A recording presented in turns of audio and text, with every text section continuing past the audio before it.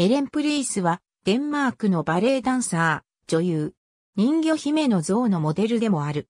父、アンドレアス・ニコライ・カール・プライス及び母、ヘルガ・コリンは、王立劇場のバレエダンサーである。父のいとこジュリエット・プライスは、プリマバレリーナである。その他、一族には、多数の俳優やミュージシャンがいる。1878年6月21日、デンマーク首都地域ヘルシンゲルコムーネヘルシンゲル、郊外のスネカーシンに生まれる。1889から1895年、王立コペンハーゲンバレエ団の学生となり、訓練を受ける。1895年5月28日、王立コペンハーゲンバレエ団の舞台でデビュー。1903年、王立コペンハーゲンバレエ団のプリマバレリーナになる。ラシルフィード、シンデレラ、人魚姫などを演じる。人魚姫を演じたことで彼女は予想外の栄誉を手にする。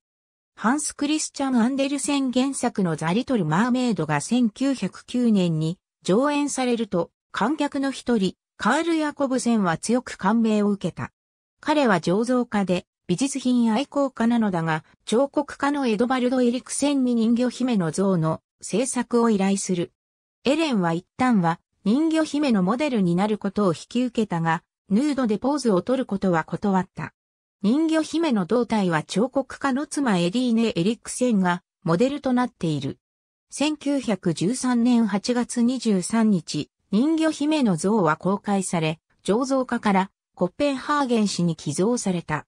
1913年まで王立コペンハーゲンバレエ団に所属した後、エレンは女優のキャリアを追求する。中央ユラン地域オーフスコムーネオーフスの劇場に出演するほか、短編ドキュメント映画に出演。1968年3月4日、デンマーク首都地域ブランビューコムーネにて死去。デンマーク首都地域ボーンホルムコムーネグーディエムに埋葬される。1902年6月3日、ジャーナリストのジーン、ルイス・ユージン・エティエンヌ・シャビエル・デ・プレーンと結婚。一人の子を設ける。1911年、離婚。1919年8月5日、俳優のアーゲ・カルデングと結婚。1921年9月27日、コルディング死去。